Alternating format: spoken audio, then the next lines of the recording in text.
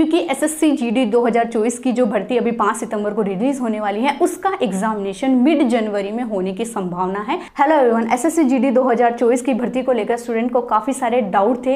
कल ही एक नोटिस आया था जिसमें आपके फ़िज़िकल के रिगार्डिंग बहुत सारी इन्फॉर्मेशन दी थी, जिसके बारे में वन बाय वन मैं चर्चा करूँगी। सबसे पहले मैं आपको बता देती हूँ कि आपका फ़िज़िकल कब कंडक्ट करवाने की चांसेस है। क्या आपके आर सिस्टम इस साल लागू होगा? उसके साथ ही साथ बहुत बड़ा चेंजमेंट सुनने में आया है कि आपके physical document and medical verification लगभग एक साथ ही करवाया जाएगा। उसके बारे में हम चर्चा करेंगे। नेक्स्ट हम बात करते हैं कि आपका फाइनल रिज़ल्ट कब तक डिक्लेयर होगा, आपको ज्वाइनिंग कब तक दी जाएगी। क्योंकि एस एस की पाँच सितंबर से फिर से वैकेंसी आने वाली है, जिसका एग्जामिनेशन लगभग जनवरी के मिड तक आपको देखने को मिलेगा। तो चलिए स्टार्ट करते हैं।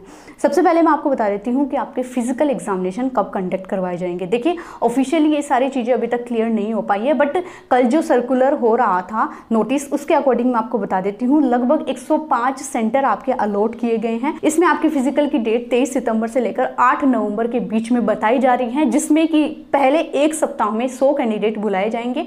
उस नेक्स्ट वीक में कैंडिडेट की संख्या बढ़कर 130 से 140 हो जाएगी। इसी में आपका बताया गया है कि 105 सेंटर में इन सारे कैंडिडेट का फ़िज़िकल एग्जामिनेशन होगा। उसके साथ ही साथ डॉक्यूमेंट वेरिफिकेशन होगा और मेडिकल वेरिफिकेशन होगा। क्या ये सारी चीज़ें एक साथ एक ही दिन होगी? तो ऐसा पॉसिबल नहीं है। पहले दिन आपका फ़िज़िकल एग्जामिनेशन होगा। सेकेंड से थर्ड डे तक आपका डॉक्यूमेंट एंड मेडिकल वेरिफिकेशन होगा तो लगभग दो से तीन दिन इस पूरे प्रोसेस को कंप्लीट होने में लग जाएगा। उसके साथ ही साथ मैं बता देती हूँ तो 59 सेंटर ऐसे हैं जिसमें जितने भी बच्चों के रिव्यू मेडिकल है, वो सारे यहाँ पर कंडक्ट करवाए जाएँगे। लगभग 39 डेज़ में आपके फ़िज़िकल डॉक्यूमेंट एंड मेडिकल जो एग्जामिनेशन है कंप्लीट करवा लिए जाएँगे।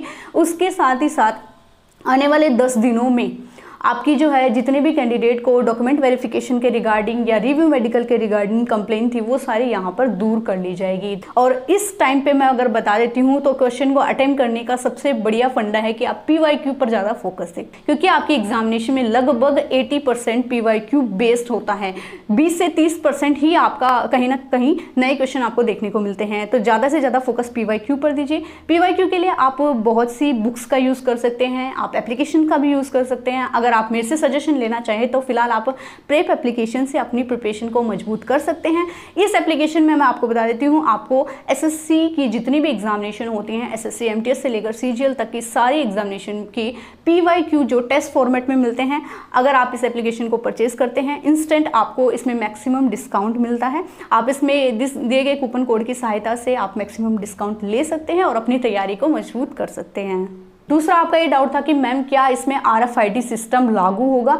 तो जैसा कि मैंने आप सभी को पहले ही बताया था, इतनी बड़ी भर्ती में, इतने सारे कैंडिडेट के लिए एक साथ आर सिस्टम लागू करना एक हरक्यूलन टास्क है। और बार बार आपका टेंडर भी इसमें चेंज हो रहा था। कहीं ना कहीं हम कहें तो टेंडर से भी ये सारी चीज़ें फिक्स नहीं की जा सक रही थी। बीच में आपको बताया था कि हम पाँच सेंटर में आर सिस्टम लागू करेंगे, पर ऐसा नहीं हो सकता कि एक भर्ती में कुछ सेंटर पर आर सिस्टम लागू किया जाए और कुछ सेंटर पर नहीं किया जाए। क्योंकि बच्चे इस चीज़ चीज़ की शिकायत लेकर कोर्ट तक जा सकते हैं। तो फाइनली ये चीज़ अनाउंस है कि आपका एग्जामिनेशन आर सिस्टम पर नहीं होगा। आपका एग्जामिनेशन रोड पर हो सकता है। हो सकता है ग्राउंड पर भी हो जाए, पर आर सिस्टम इसमें नहीं लागू किया जाएगा। थर्ड आपका डाउट था कि मैम हमारा फाइनल रिज़ल्ट कब तक डिक्लेयर हो सकता है। तो देखिए, आपकी फ़िज़िकल के दस दिन के बाद तक लगभग आपका रिज़ल्ट आने के चांसेस है कि बाईस नवंबर से सात दिसंबर के बीच में आपका रिज़ल्ट आ जाए और दिसंबर के एंडिंग तक ही आपको ज्वाइनिंग देने का प्रोसेस कंप्लीट कर लिया जाएगा। क्योंकि एस एस 2024 की जो भर्ती अभी 5 सितंबर को रिलीज़ होने वाली है, उसका एग्जामिनेशन मिड जनवरी में होने की संभावना है। अभी के लिए मैं आपको बता देती हूँ, आपके फ़िज़िकल एग्जामिनेशन के लिए बहुत कम दिन बचे हुए हैं और इन दिनों को आपको सही तरीके से यूटिलाइज करना है। बहुत सारे कैंडिडेट ऐसे कह रहे थे कि इस साल पता नहीं एस एस का फ़िज़िकल होगा भी या नहीं होगा। अभी के लिए मैं आपको बता देती हूँ आपके फ़िज़िकल में इससे ज़्यादा कोई भी डिले नहीं होगा। बहुत ही कम दिन आपके पास में शेष है। जैसा कि आप सभी जानते हैं आपकी एग्जामिनेशन जनवरी फरवरी में कंडक्ट करवाई जाएगी। बहुत मुश्किल से आपके आंसर की आई। उससे पहले भी टेक्निकल इशू की वजह से लगभग सोलह हज़ार कैंडिडेट का फिर से एग्जामिनेशन हो गया था। जैसे तैसे करके आंसर की आई फिर रिज़ल्ट नहीं आता। रिज़ल्ट के लिए भी ट्विटर पर हैश टैग रिज़ल्ट बहुत वायरल हुआ। उसके बाद में कैसे जैसे करके आपका रिज़ल्ट आया। रिज़ल्ट के दो से ढाई महीने बाद में अब कहीं जाकर ये चीज़ सामने आई है कि आपका फ़िज़िकल कंडक्ट करवाया जाएगा और उसकी भी डेट यहाँ पर लगभग अनाउंस हो ही गई है। मैं आपको बता देती हूँ डिपार्टमेंट ऑलरेडी इस चीज़ से वाकिफ़ है कि बहुत सारा डिले इसमें हो चुका है। अब बिल्कुल भी डिले नहीं होगा। बिल्कुल इस मैं बात करती हूँ 2024 के एंडिंग तक आपका सारा प्रोसेस कंप्लीट करवा लिया जाएगा। दिसंबर में आपको ज्वाइनिंग दे ही दी जाएगी क्योंकि आने वाली भर्ती का एग्जामिनेशन जनवरी के मिड तक होने वाला है।